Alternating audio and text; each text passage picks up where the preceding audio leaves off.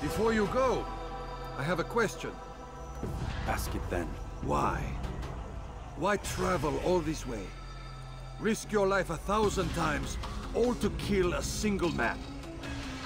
He threatened my brothers and what we stand for. Ah, vengeance then. No, not vengeance. Justice, that there might be peace. This is what you fight for? Peace? Do you see the contradiction? Some men cannot be reasoned with. Like that madman, Saladin. I think he'd like to see an end to this war as much as you. So I've heard, but never seen. Even if he doesn't say it, it's what the people want. Saracen and Crusader alike. The people know not what they want. It's why they turn to men like us. Then it falls to men like you to do what is right. Nonsense. We come into the world kicking and screaming, violent and unstable. It is what we are. We cannot help ourselves. No.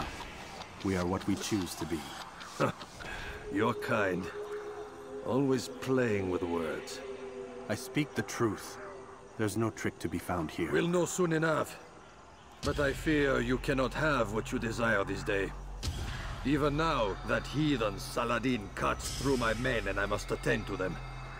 But perhaps, having seen how vulnerable he is, he will reconsider his actions. Yes, in time, what you seek may be possible. You were no more secure than him. Do not forget that. The men you left behind to rule in your stead did not intend to serve you for longer than they had Yes, yes. I am well aware. Then I'll take my leave. My master and I have much to discuss. It seems that even he is not without fault. He is only human, as are we all. You as well.